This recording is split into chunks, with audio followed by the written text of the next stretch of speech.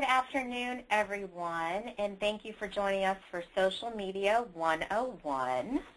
We really appreciate you joining WAND today, and we're very excited to hear from our own Jesse Calkins. My name is Azivo Kiwa, and I am the Senior Program Associate here at WAND, and I will be running the back end of the technology today.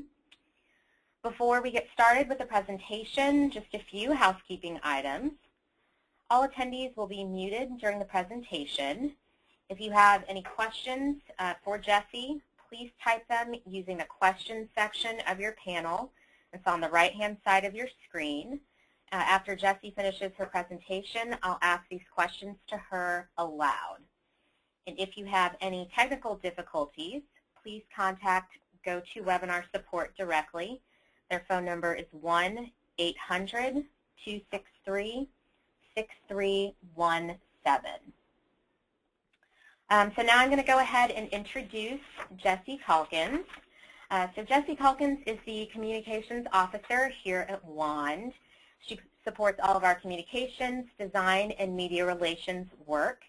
She's studying linguistics at Boston University and has a variety of uh, communications experience from the hospitality industry, industry excuse me, to the cycling industry and also has a very wide variety of social media expertise. She manages our Facebook and Twitter and Tumblr accounts, which she's going to tell you more about, and she's an all-around great person to work with. So without further ado, I'm going to turn it over to Jessie to tell us more about social media. Jessie? Hello, and thank you everyone for joining us today. And we're going to be covering Social Media 101. So you're going to get a little bit of background of what is this whole social media business about and a little bit about what to do about all of it. We're going to be coming from a pretty beginner perspective, so if you're an old hand at Twitter and you've got a couple hundred thousand followers, um, send us your wisdom for part two. So we're going to get started here, and I'm going to try to put social media in the perspective of traditional media, magazines, newspapers, things that we've always thought about as how to get our message out we always knew, I mean, at least for my entire life, about print media. Something that came on the doorstep. Someone delivered it. We subscribed to a service for information. It was great. And didn't matter what city you traveled to, you could get access to the news in that place too. So we would be able to, as an organization, as a company, as an individual, we would be able to submit pieces of writing, be them opinion pieces, letters to the editor, what have you, to get our coverage up, to get coverage of us out there. We could have our age-old tools of press releases, press releases, media advisories. We could try to pitch papers uh, to write about us in a column. We could have big events to try to get a lot of press coverage. And, you know, the time-honored press conference. And these things are still very potent tools today and part of any well thought out media plan, any well thought out organizational messaging system. But there was always someone else, always an editor, always someone else who is the final arbiter of this content. And so will we get placed? Will we get coverage? Will any press show up to our conference? Questions that we have always, always had to ask. And the best of the best always knew how to package messaging to get this stuff covered. And this continues. But there's a new dimension, and we've seen this grow over the past couple of decades. You know, the World Wide Web, the Internet, or as some people call it, the interwebs. These have all changed how we've messaged and how we've communicated from person to person. Back in the day, we had weblogs, which we call blogs now. We saw respected print media become web media. We've seen respected websites be only on the web now. And so we saw, the, besides that, the advent of systems like Friendster and MySpace from back in the day. Before we ever had this, this phrase called social media, we had these networks. Um, in the early 2000s, 2003, 2004, in the college scene, Facebook became a thing. And back then it was called the Facebook. And now it's changed, and it has millions of users. We have Twitter, Instagram, Tumblr, YouTube, Pinterest, LinkedIn, Google+, more than you could even imagine that you've never even heard of. App.net, tons and tons of possible places where we could connect with people who we've never met, share our messages, and reach out beyond to people who have never heard us or people who are waiting to hear us, to get our message out there, to get activists moving, to get the word out. And so this entire breadth and depth of a new way of sharing we call new media. Maybe 10 years from now we'll be calling it something else, but sometimes we call it social media.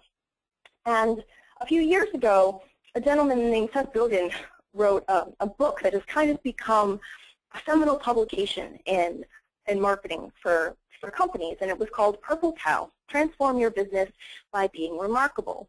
And the philosophy that he talks about in this book has spread across to activist networks, to political campaigns, to small businesses, large businesses, to individuals who make a name for themselves, even just on the web as personalities. And what is the idea behind this? This is the connectivity economy, or the economy of connection.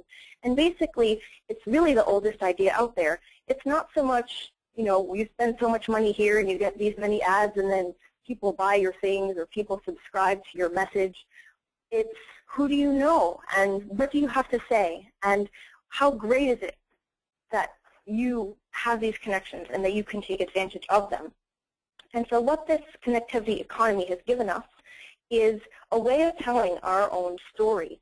And so just to make sure that I haven't lost you, there's more to social media than cat videos. Now, how did I have your attention again? we have to start with the right questions. Before we get into which network, what are metrics, what's my demographic, how do I get more hits on my website, do I have the right followers? Before we get to that, we have to ask the right questions. And those questions are very, very simple ones. And they're ones that you would ask no matter what kind of messaging you're doing, no matter really what kind of background you're coming from, be it advertising or just a person who wants to connect with their friends on the web we have to ask ourselves, who is our audience? Who do we want to reach? And who are we actually reaching? So if you are a person or an organization and you already have a social media account set up, you can look at your followers or your fans and, and read what they have to say about themselves. Who are these people? Are these the people who you've been wanting to connect to? Maybe they're all people you know in person, and then you took that connection from a person-to-person -person encounter and you connected online. Or maybe it's someone you met across the country or across the world who you've never met in person, but you share the same dream or the same goal for changing the world. And maybe that's how you met. And if you're finding that the people who are your fans or are your followers, are your any number of different words we have, it's usually follower or friend or fan in most of these media outlets online. If you're finding that the people who are following you or that you're connecting with are the people who you've always wanted to reach, then that's great. You're doing the right thing. But if you have a, an anonymous mess of questions, who are these people? Are these just all spam bots following my Twitter account? Then we have a lot of work to do. And maybe if you're just starting out, this is a great time to really ask these questions. Why are we starting out here? What is the goal of our work? Because it's great. You can have a Twitter, a Tumblr, a Facebook, an Instagram, but unless you're answering these questions at the beginning with how you set it up, how you choose your logo or what images are going to place, you know, this will help guide you from the very, very beginning. So let's continue. So we're going to talk about content in a minute. I'm going to go back to these three prime questions because we're going to go through and we're going to look at these different options for social media. And you're going to get to see my own internet situation on my own machine here as we go to the live internet. All right. So here we have the joy that is PowerPoint. And here we have the different things where you can find WAND on the web. So this is our actual live right now logged in Twitter screen. And you can see that we have our logo. This is Women's Action for New Directions. And why is our username Women's Action? Because probably one was taken. Here's the thing about Twitter.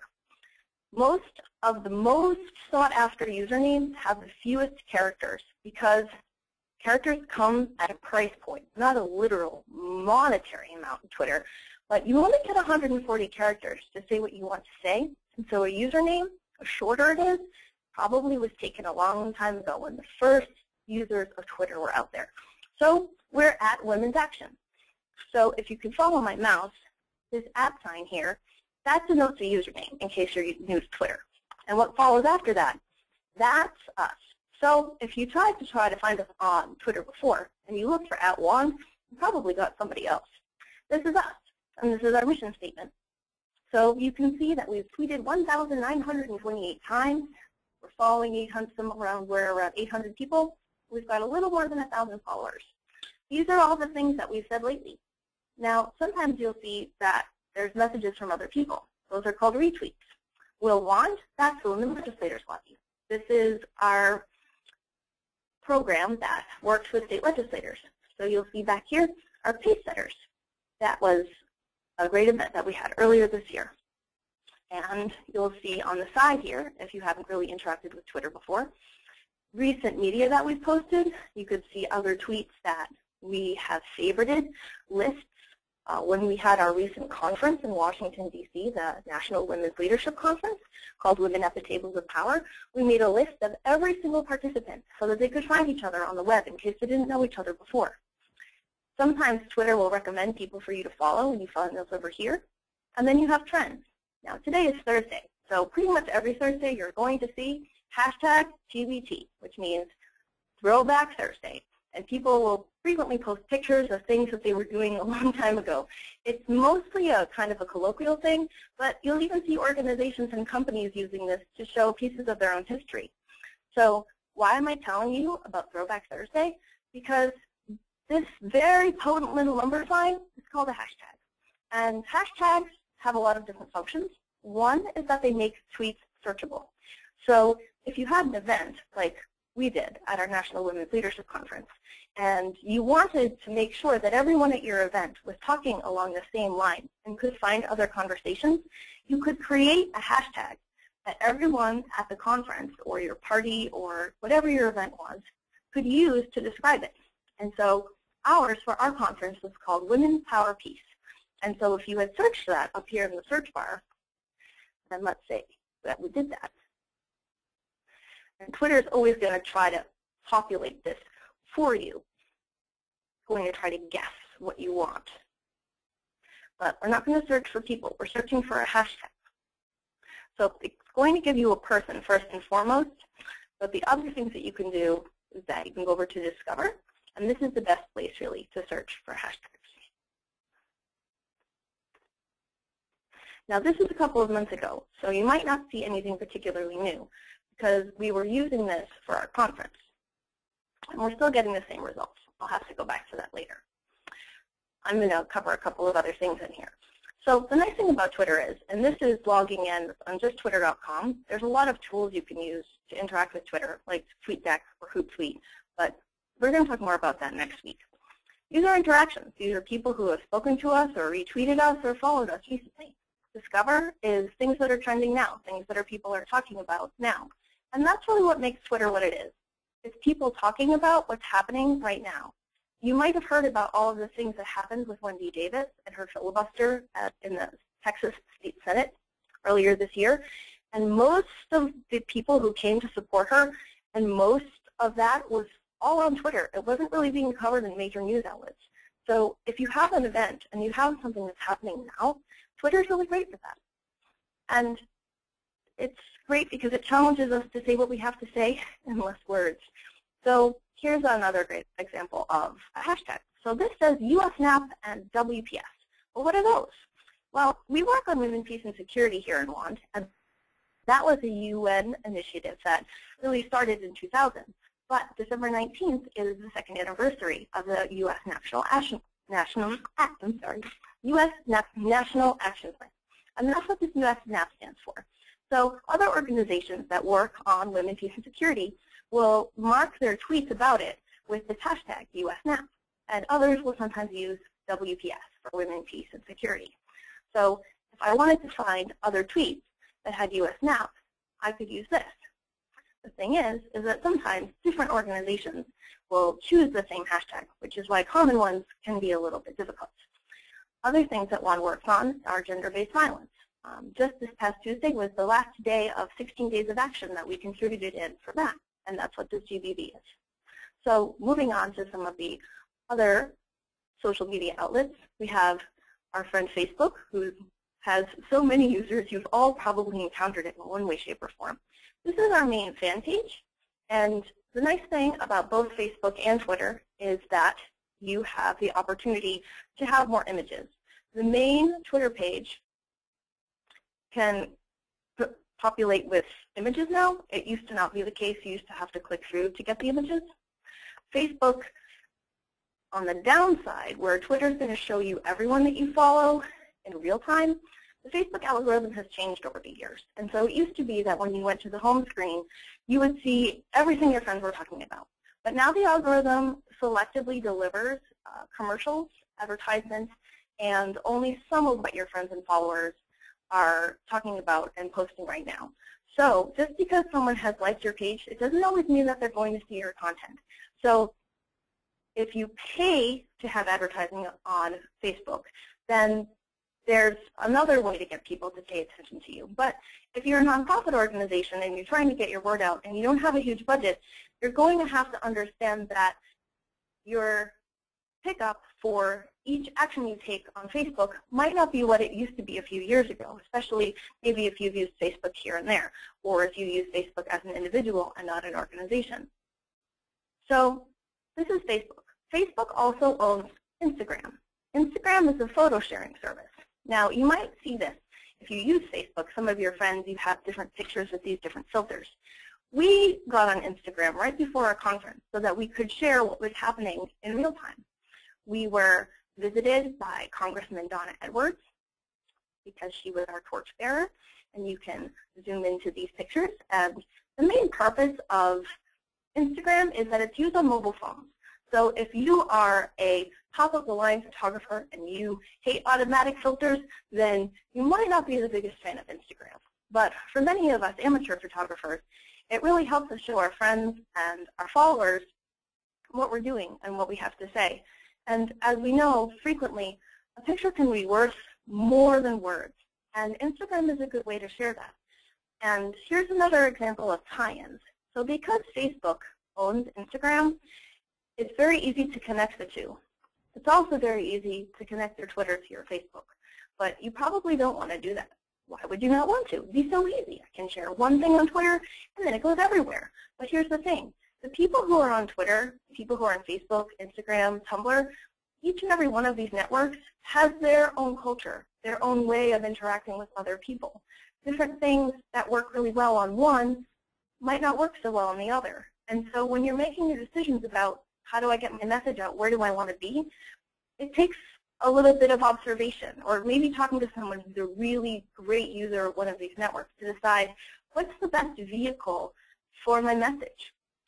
One of the things that WAND has gotten into recently is Tumblr. Tumblr is a blogging service. It actually started off as an art site where people could share images. It has a lot of great things about it. Um, one is that it's very easy to make compelling design. You can choose from a number of templates that are free or you can purchase them. And it can give your work a very streamlined appearance. Once again, it ties in with both Twitter and Facebook very, very easily. The other great thing about it is you'll see here 43 notes, reblogged one day ago.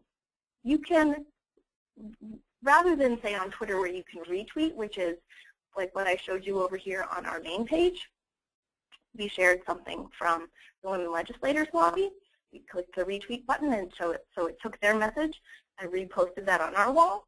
You have here on Tumblr, you can repost an entire post from someone else. And if you just think that the internet might be about cat videos, that's also not the case. There's a lot more people on Tumblr and a lot more organizations and publications on Tumblr than you might realize. We follow The Atlantic, Think Progress is on here, even the State Department. You might recognize this as an Instagram photo. The Atlantic again, they post a lot. That's another question you have to start asking yourself. How much do I want to post? The New Yorker's on here. Uh, Senate charts is great, especially if you follow the ins and outs of what's happening in the Beltway in DC. You have to ask yourself, how much do I want to post? We're going to talk more about the fine-tune strategy next week on, on next week's webinar, but I'm going to talk about a few more of these that we have going on. So the next one I'm going to show you is YouTube. And you might not think of YouTube as a social network, but the page that I'm showing you right now is a pair of brothers who actually started a very successful online community just by sending video blogs to each other a few years ago. You might notice that they have over a million subscribers. Video blogs or blogs are becoming a very, very popular and effective way of getting your message out. People can like them and comment on them, and you can have episodes week by week. This group, for instance, has a crash course on chemistry or U.S. history. So there's a lot of different kinds of programming that you can share with people. So both YouTube and Google Plus are owned by Google. So if you run a YouTube channel or you want to post on YouTube, you're going to have to have a Google Plus account because all of the comments on YouTube are now tied to Google Plus. This is the State Department's Google Plus account. Earlier this year, Secretary of State John Kerry, who you might, if you're from Massachusetts, might remember him from our state government, they hosted a Google Hangout with the Secretary of State. So even the heads of state are getting into this. You can scroll down through here to see different links that they've shared, different images, and different videos. So you're going to see a lot of that from one to the other. You can see the use of hashtags here, even in Google+. From one form of social media to the other, hashtags help you keep track of a conversation, and they help you search for things. So understanding what hashtag is and how to use one effectively can one help you make sure that your message and what you're sharing is seen by people who are looking for that item. So let's say we wanted to shout out to the State Department or we were commenting on something that the State Department was doing. We would try to find ahead of time if there was an established hashtag, like this one here, the State Department likes to tag their things as State Department, and we would use that to make sure that what we had to say became as part of this comment. Now, Secretary of State Kerry doesn't really maintain his own account, so you'll see that he's mentioned as hashtag SecKerry here. This is a pretty frequent way of referring to him on Twitter as well. Former Secretary of State Clinton, uh, as Hillary Clinton, has her own Twitter account. So in that case, if you were on Twitter, you would use the at sign in her username, which you could find through search. So just a couple more social networks here.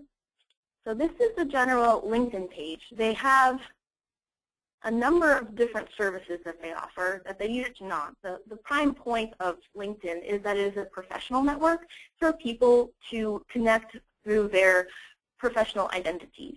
So whereas Facebook requires you to use your real name and is more based on your family school relationships because it began as a connection, a connection for college students, and you see that perpetuated, and then the addition of who you work for came later. LinkedIn came on, it was, its advent was for professional connection. So you'll see different things, and you'll see this, this word influencers. Who are influencers? There tend to be, one, people who have a lot of followers, but two, they're people, people whose opinions are shared and whose voice matters in their topic areas. So no matter what kind of social media you use, if you have an influencer who follows you or who listens to what you have to say, then that is kind of a benchmark. You can say, you know, I'm making somewhere in social media because, you know, I'm interacting with this influencer. Or, you know, if you're really good, you can reach out to reporters and you can use this in a very direct way to influence and enhance your traditional media work. One more here from the list that we said we would cover. This is Pinterest. This is just the Pinterest main page. Now the main point of Pinterest is photo sharing. So if you are a company who is using you know, fashion or any of the many of things you see here, this can be a very effective way of doing that. Because one, most of our work has a lot to do with advocacy and on other parts we have a membership base in our will base. We have pictures, but we decided that we weren't going to become really involved in Pinterest because it really didn't seem like the best way of getting our message across. But I wanted to show you what it was, and once again, Pinterest can be connected to Facebook so that if you were following pins, which is what these individual posts are called, you could share that across the other social media branches. So that's kind of what all of these look like. But once again, you're probably wondering, how do I pick? So let's go back over here. So we've asked the right questions, and we have an idea of maybe where we want to go and what we want to do, or really what we'd like to do, or what we'd like to see happen. We'd like to have a million followers on Twitter and have people just with waiting with bated breath for everything that we have to say. Well, this is where content comes into play. So like we said earlier, every social media network has its own culture, as it were. Different ones came of age in different communities. I was in college when Facebook started, so I was one of those college kids who started using it. I didn't get onto Twitter until maybe it was a couple of years old. I have friends who were early adapters to these different media outlets. So how we use them and the fluency with which we use them can really depend not so much on our age, but perhaps what we're interested in. Maybe if you're a software developer, maybe you've been using app.net since it began. But maybe if you're not in that field, it doesn't make a lot of sense to be there. I know you might see that I'm leaving you with an awful lot more questions than I'm answering. But I'll get you started with a few of the cultural markers of some of these different kinds of media outlets. So we've got Facebook. Hmm. Visual things tend to get ranked or filtered by the Facebook algorithm so that, like I said before, not everyone's going to see it. If there's a picture attached, there is a much greater chance that that will be seen in someone's news feed. Similarly, a photo, a video, or a link share, there's more likely that those are going to be seen than just a status update. And you can ask for what you want on these different things. You can say, hey, please share this, or hey, please retweet this. But don't say that all the time because people get turned off by it. That's the thing about social media. It's social. It requires engagement. You can sit quietly in the background on Twitter and just read, but it's good to exchange ideas and perspectives. Well, let's say you're like WAND, and you have different areas of things that you work on, from you know nuclear disarmament to women, peace, and security to redirecting the Pentagon budget. Well, who on my staff is going to run that social media account? And what if I've got an intern or someone who's doubling up in three different staff positions who, doesn't have enough time or maybe isn't a policy expert?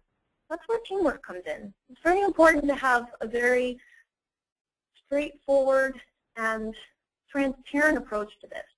It, it's good to sound like a person, but you're an, if you're an organization, then there's some things you're not going to weigh in on. I'm going to take you over to Twitter again. And we're going to look back at Twitter. We're going to see some organizations that have two different or three different accounts. Our friends over at Plowshares that work on nuclear weapons work, this is their main organizational account. They share different things from the organizations they work with and valid pieces of news and policy updates. One of their heads is Joe Cirincione, and I do apologize if I say his last name wrong, but he has the opportunity as one of the heads to give a more personal view on these different things that plowshares might also share. Because he's a person and not an organization, although organizations are made of people, he can have more of an opinion side and can add in things about sports or just you know everyday life that people who would use social media would say. So this is another situation you might find yourself in. Maybe you're one of the executive directors of an organization. Do we have an organization account or a spokesperson account? How do we decide? You can see some different ways that this is done well for activist organizations. One of our friends' organizations is Peace Action, they're an activist organization, and they help mobilize their activists and share different pieces of policy that they'd like people to take action on using their account. And they also talk to individuals to bring up valid pieces of work that they'd like brought to the light. One of their field organizers is Judith LeBlanc, and she has her own Twitter account. And she behaves a little bit differently. than an organization would. You'll see that she would retweet a lot of things that you just saw on the Action account. But then again, she's going to interact a little bit differently because this is her account. This isn't the organization account. And so you can, especially if you're new and you think you might end up being the person in charge of the organization account, it's good to maybe make kind of a backdoor secret personal account where you can watch and see how people act on Twitter, especially if you're new, because it's a very, very different kind of interaction than you're used to from Facebook. So I'm going to go over to one other example of the two National Priorities Project, which also works on federal budget issues like us. If you ever want any facts, this is a great place to find them. They release a lot of reports and things like that here on their Twitter feed. And this is another great reason that you would use social media is to share your different reports if that's the kind of an organization you are, to, say, mobilize your activists. Now, Jo Comerford is the head of National Priorities Project, and this is her personal account. You'll see maybe she doesn't have quite so many followers, but she retweets a lot of National Priorities content. So we're going to go back over here, and we're going to look at correct content. So what's FTW? It's for the win if you don't use short things. Um, if you're going to run a social media account, it's good to learn some of these abbreviations because even if you're not going to use them, other people are. And it makes your internet fluency a lot greater. So quality over quantity. It's better to start with a small group of people who care an awful lot than it is to start with a vast following of exactly who are these people. And that comes back to that initial question of who do we want to reach and who are we reaching? And saying things that matter and not just to fill the silence. It can be tempting to just tweet away all day. I'm eating a peanut butter sandwich.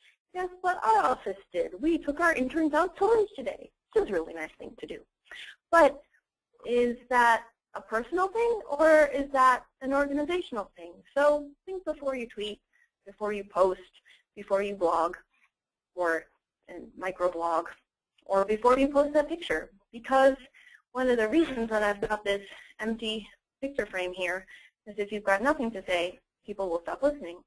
But if you say the wrong things at the wrong times, or if you say things when no one's listening, like if you're going on and you're tweeting for your organization's account at 6.30 in the morning, not as many people are going to see that until you do it a little bit later in the day.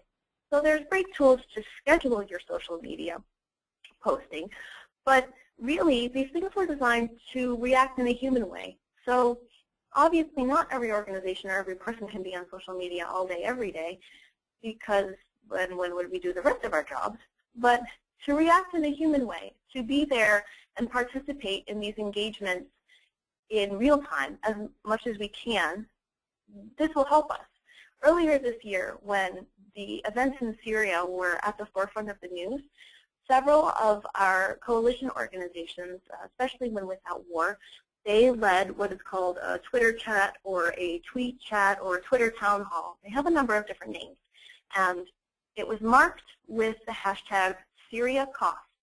And basically, it was a question and answer session with some of their policy people talking about what's happening in Syria and what would these different decisions that would that would or could be made um, either policy-wise or legislatively or by the president, what would the causes and what would the effects of this be? And so we were able to learn and participate in this conversation because it's something that we were paying attention to as well. And not only did we have the opportunity to interact with new people who did not know about us in the past, but we were able to learn a lot more ourselves. So when we create content that is the right thing for the right social media outlet at the right time, then we create a community of people who want to hear what we have to say who tell others, and who want to connect with us. And this helps us build a community. So especially if you're an activist organization, this is a great way to reach out to people. Lately, um, back at the very end of September, beginning of October, especially the first day of the government shutdown, um, we WAND and WiLL our program with, of Women State Legislators, once again at our National Women's Leadership Conference, Women at the Tables of Power, we had started our conference with the hashtag Women Power Peace that was just supposed to demarcate which, which parts of the conversation were about our conference versus other things. But later on, when the shutdown became eminent, we started using shutdown the shutdown. And the women and other participants of our conference started using it. And then other people on Twitter started using it. And it grew outside of our community, outside of DC, outside of people who maybe even knew who we were. And it was trending. What does trending mean? It means that there's an awful lot of users on Twitter using that phrase for a very concentrated period of time. So like that thing I showed you earlier, that Throwback Thursday, that's something that's trending. A lot of people are using it. Well, our shutdown the shutdown, that was trending. When you're trending, a lot more people run into you. You might also hear something like that referred to uh, as viral. So when a, a video goes viral, millions of people see it. And there's entire services that are are based on this, online curating sites like uh, Upworthy or BuzzFeed or ThinkProgress. We can talk more about those next week. And just want to say that when you have a well put together and a well executed social media presence, even if it's starting small, it can really support the work that you do in traditional media. Because what we did on Twitter was so loud for so long, many of our women state legislators at our conference were approached by traditional media, by radio stations, by newspapers for interviews. They wanted to know what these women leaders and what our community leaders had to say about the matter because everything had been so loud in social media. So it's not just cat videos. So when we get really good at it, when we're practiced, when we have confidence, ideally our content should be anticipated by our audience. It should be personal to them, maybe not saying, hey, congratulations on your engagement. Not quite that personal, but personally moving or personally relevant and relevant in terms of the news, the content, like I said before, not just to fill the silence. So if you're looking for things that WAND does on the internet, and if you want to look at this webinar later, uh, especially on YouTube, we have a collection of our webinars available. That's the link at the bottom there. This is where some of the places where you can find us. We'll probably be growing into new places as time goes on, and we're always trying to improve how we do things. So as you go through this and you're wondering, oh goodness, she's given me so many different kinds of social media and so many different things to think about. But as daunting as all of this can seem, please remember that it's always changing and that it means as humans, as users of this media, as people who are trying to get a message out, that we're going to keep on finding new ways to share our message, to reach other people, to give them hope or change the world or make our campaign move forward, whatever it is we're trying to do. And as these things continue to evolve, we're going to make them better. So maybe Twitter makes you annoyed or you don't like Instagram so much. Give it a few years. There'll be a, there's, you know, I didn't even cover Snapchat. It didn't really seem like a thing to cover for us right now. And don't worry about Snapchat right now. But the idea being that this is going to keep growing and changing. And even if you're thinking, oh goodness, it's way too late for me to get involved now, it really isn't because every day something new is popping up. And every day you can decide to create content that matters. You can get a little risky and decide to be a leader. Can dare to matter and you can dare to reach out to the different people who are waiting to hear your message. So that's the end of my formal presentation for 101, and we're always happy to hear your questions for part two, which will be next Thursday at 3.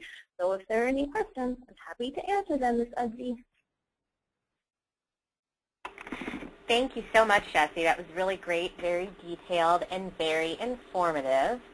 Um, I just want to remind everyone how to ask questions. If you have a question for Jessie about her presentation, you can type them in using the question uh, section on your uh, attendee panel. It should be on the right-hand side. Just type your questions, and they'll come to me, and then I'll read them out loud to Jessie. Um, and while we're giving folks a couple of minutes to uh, get their questions together, I'm going to ask the first question. Um, so Jesse, as of course you know, uh, most of our audience are, uh, are activists or community leaders in some sense. Um, and so what do you think are the best social media outlets for, um, for activists and for state legislators to use to get their message across? So the, the two social media networks that have the largest audience are just by sheer numbers, Twitter and Facebook. I think at last count, Facebook had, oh gosh, around almost over 4 million, almost a billion users. It's, it's getting a little excessive, but in a good way. And, and Twitter. So if you looked at the White House or at Barack Obama's campaign, his campaign managers, especially on their social media, have been incredibly successful. White House has four and a half million followers. It, Twitter is a very great place to introduce short, poignant pieces of policy observation. Um, one of our WiLL members, uh, Jessica Farrar, she is a Texas state representative. When we were in Washington, D.C. for the shutdown, her meeting with one of her uh, members of Congress was canceled. And so she wrote a note and stuck it on the door and posted a picture of that on Twitter. And it was retweeted a couple of thousand times, I think. And if you're trying to get the message out in a very poignant, quick, real-time way, Twitter's your best bet. If you want to start building events and a community of people who are going to keep checking back to your page for maybe longer term projects, you would want to use Facebook for that. It's a great place to start events. Let's say you're going to run a campaign or you have um, an activist movement to, uh, let's talk about, say, Oregon WAND for a moment. Um, they're one of our chapters, and one of them at the least, but usually quite a few of them, participate in a peace march and it goes for a couple of hundred miles. And if you wanted more people to participate in that, you could create an event on Facebook and you could invite all of your friends. And the one thing is that you really have to reach out in a very active way on Facebook because people aren't always are not always going to see it in their newsfeed because it gets filtered, like I said, by the algorithm. And you'll find a lot more advertising taking up space in Facebook right now. Um, although Twitter is about to be a publicly traded company, their advertising may change, and that can always change how our messages are received. Thank you, Jesse. Um, our next question is from Josie Haddon. Uh, Josie says, this all seems so fleeting. What if you want to develop an idea and build on it? Then which outlet should you use?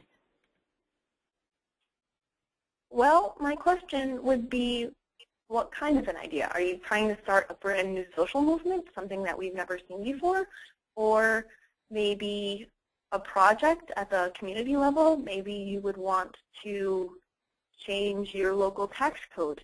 There is a uh, a great story of the Troy Library, if, um, if you're talking more local. And these, this library was suffering from lack of funds. And there's a, a great video which I can provide in the follow-up materials to this webinar because I can't give you anything with sound right now. But the, the story of this library is that they were able to rouse enough people in the town to care using Facebook and Twitter to change the policies at the local level and get enough money raised, and this was you know, through local tax ordinances, to save this library.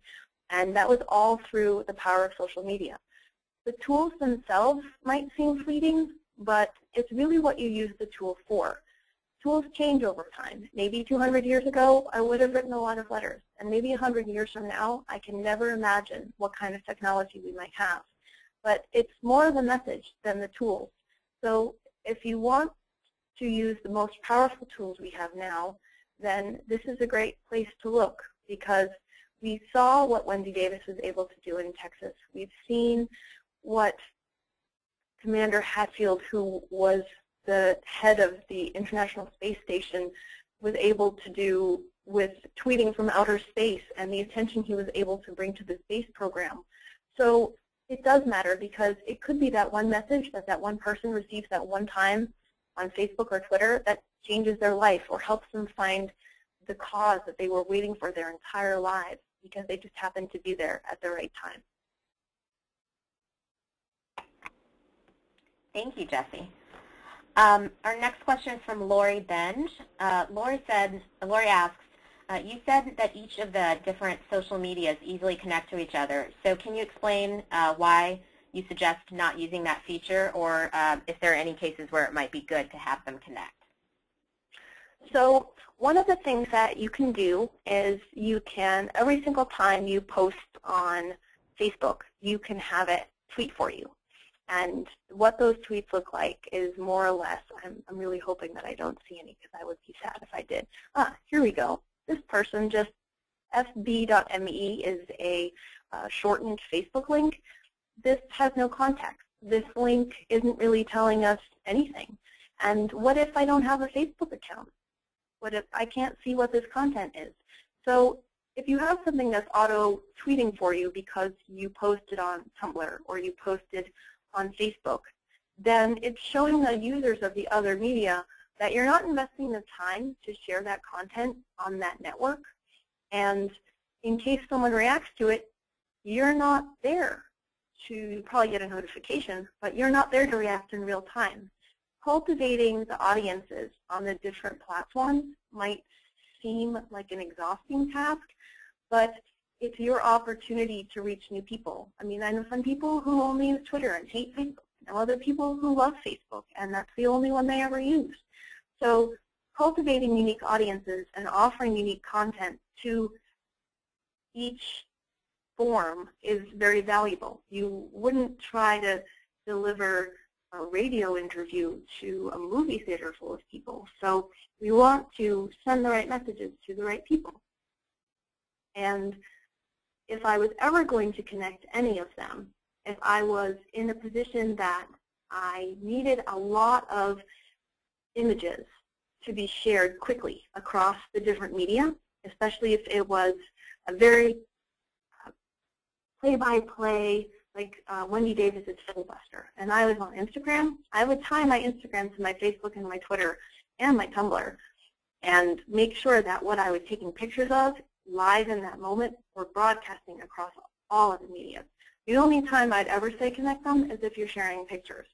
But remember, if you are the administrator of a Facebook fan page as opposed to a friend page, and you access it by your personal account, and for some reason you accidentally connected them to your work's Twitter, and you're taking a picture of your cute little baby niece, you don't necessarily want your policy organization or your activist organization having a referred thing that says, look at my cute baby niece, because she might be cute, but it's not the correct content at the right time. Good advice, Jessie.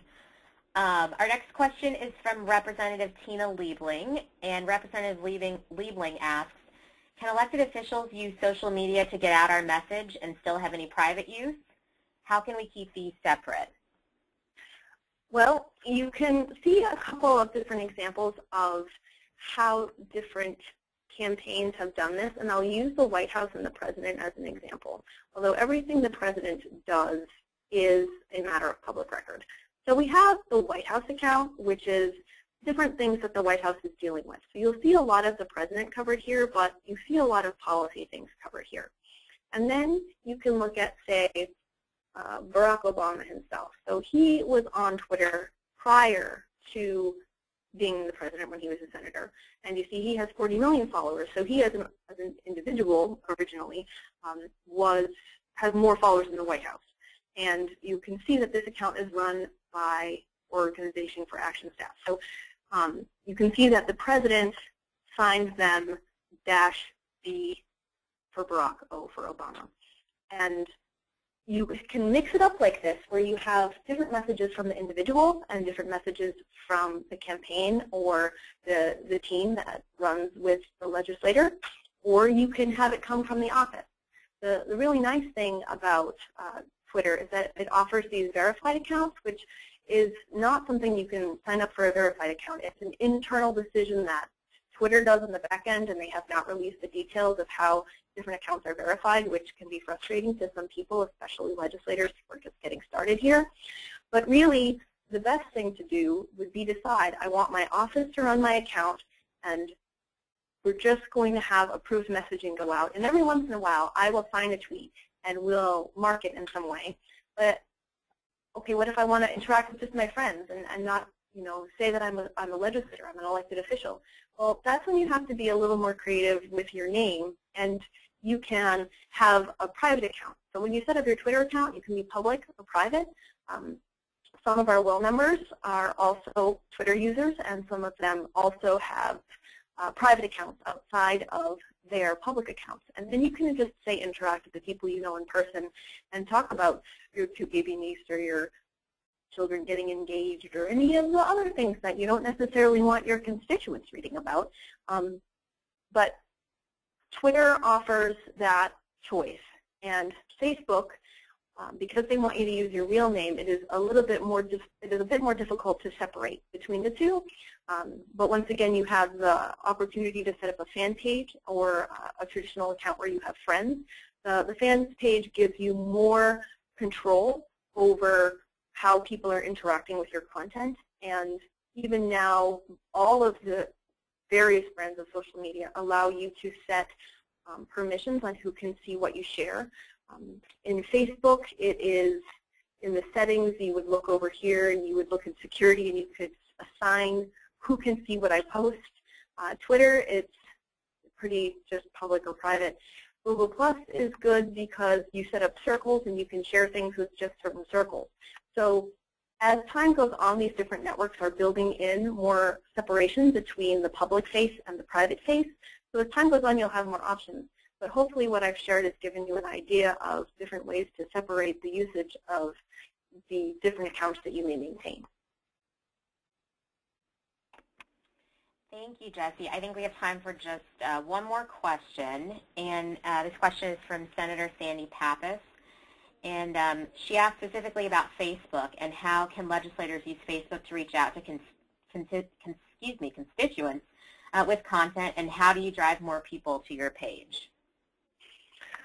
So if you are someone who has been using Facebook for a long time and maybe before you ran for office or even perhaps in the beginning of running for office and you have a lot of friends and you want to post something from your account that is your, so we have your friend account, so I'm, I just want to just make sure that I'm very clear here. So we have a fan page, which is, you know, so-and-so number of likes, which is what I'm showing right now, which is the Women's Action for New Directions fan page. And look, here's Senator Pappas. And we also have, this is for our Women Legislators Lobby, which is set up like an individual account where you have friends and photos and different people can share in your wall and you can share links. So the way that Facebook treats information that comes out of this kind of an account and the way that it treats information that comes out of this kind of an account are a little bit different you have access to a lot more data on the back end of who has clicked on what, who has seen what on this kind of a page than you do on an individual page. So let's say that you were Minnesota Senate President Sandra Pappas and you had a thousand friends. If you share something from your individual Facebook account, those people are going to see that more are more likely to see that on their news feed than if you shared it from a fan page like this one, unless the fan page had posted a video or a photo. So there's that. There's a technical side to what you share, but like I said, it's really content and the genuineness of that content that spurs people to action. So events where you're reaching out to your constituents, be it a press event or maybe it's breaking ground for a new library or something like that, where people feel engaged, where they feel like their voice is being heard or that you're asking the community for an answer. So you can ask questions. You'll see this from many elected officials and different departments and even companies. They'll ask the people who follow them, their friends, you know, today is Valentine's Day. What is the story of your first love? Or, you know, this past Tuesday was Human Rights Day. You know, today is Human Rights Day and we're doing this. What is the story of how human rights have impacted you, or what is it that you would like to see change in in human rights. It's that engagement. It's reaching out to your constituents and asking them to reply with photo, with a message that helps get them to really want to engage with you. And the more people that start engaging with your content, the more people will start finding out about your content. So right now, we're kind of at a pretty low here. We've got 12 people talking about this. But if we bump on over to someone else's page, like we walked over here and let's say we had 40 million likes, we're going to have a lot more people talking about it. So in reaching out to your constituents, number one, you would want to prompt them with something. Ask them a question. What are policy changes that we need to see in Minnesota? Or maybe not call it policy, or call it something else. What do we need to change? Or just something simple. Oh, the weather is cruddy today. How did you get to work? You can say anything from something incredibly profound to something very, very short and sweet. And you can have events and you can host them, but the more that we engage and the more that we interact with our followers and our fans, the more we're going to see that spiral out and bring more people to our community and more interaction from our community. Well, thank you so much, Jesse. I think that is a good note for us to wrap up on. Um, so thank you, Jesse, for all your insight that you shared about social media. And uh, thank you so much to everyone who joined us this afternoon. I know we still had a few more unanswered questions, and I'll make sure to get them to Jesse. Um, just wanted to remind everyone to be on the lookout for follow-up materials. When you exit the webinar today, there's going to be a survey, and we'd really appreciate any feedback you can offer about today's webinar. And we'll also send you an email with a recording of this webinar and additional information. And also wanted to remind you all that part two of this webinar series is taking place next Thursday, December 19th at 3 p.m. Eastern Time. And as Jesse said, she'll get more uh, into the tools and into the nuts and bolts of social media. So I hope that you all can join us again then. And with that, I'm going to end, and thank you again so much to everyone.